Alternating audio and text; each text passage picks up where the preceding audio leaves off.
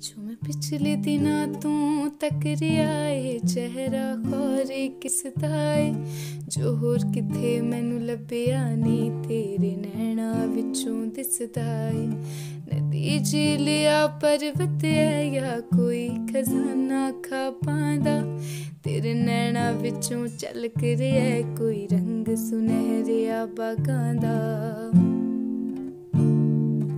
ਤੂੰ ਇੱਕ ਚੁਟਕੀ ਮਾਰੀ ਭੁਲਾ ਦੀ। ਮੈਂ ਤੈਨੂੰ ਚੱਲ ਮਾਰੂੰਗਾ ਪੱਖੀਆਂ ਨਾ